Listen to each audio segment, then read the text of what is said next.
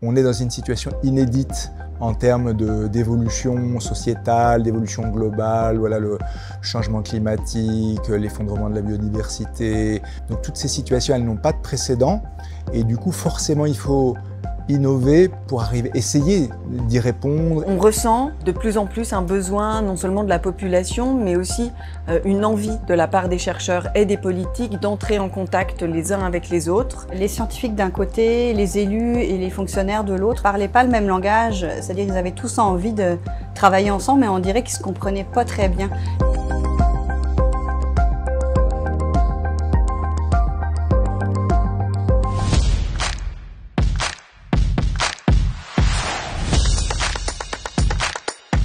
Cette journée, j'avoue qu'on l'attendait depuis assez longtemps. Elle vient mettre dans une même pièce des chercheurs, chercheuses, des élus et des administratifs, administratives qui viennent confronter leurs regards. Ces ateliers de coopération scientifique politique sont destinés à les faire se rencontrer pour qu'ils échangent, qu'ils discutent sur une étude de cas qui met en scène un pays fictif dont la réalité est assez proche de la nôtre. Et euh, dans cette étude de cas, il y a des mises en situation autour d'un projet d'implantation d'usine. Donc c'est un projet industriel avec des enjeux écologiques, des enjeux sanitaires, des enjeux économiques. Donc il y a tout type de personnages qui vont être incarnés par les joueurs, par les participants.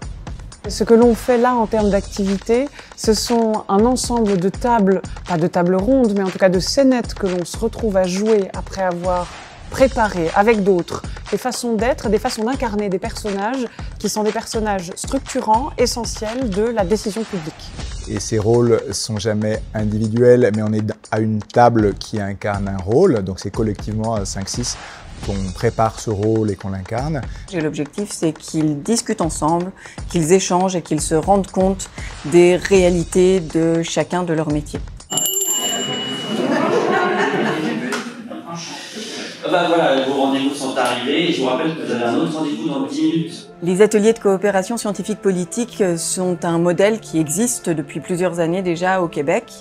Et donc pour l'organisation de cette journée, on a sollicité le Fonds de recherche du Québec qui mène ces ateliers. Toutes les études de cas qui ont été rédigées, à moins une vingtaine, un peu partout euh, dans le monde, sont accessibles gratuitement sur le site internet de, de l'INSA. On a bénéficié de leur accompagnement pour l'organisation, la tenue de cette journée, mais aussi pour mener avec eux la réflexion autour des questions qui sont soulevées par ces ateliers. On veut vraiment mettre une ambiance ou des conditions pour que les gens aillent un petit peu au-delà de leurs idées préconçues, qui se posent la question, c'est quoi notre place dans la prise de décision? Ce type d'atelier est parfaitement déclinable sur d'autres territoires. D'ailleurs, ici en Bourgogne-Franche-Comté, on a comme projet de pouvoir le mener aussi sur des territoires ruraux. Et puis on peut imaginer le décliner partout en France.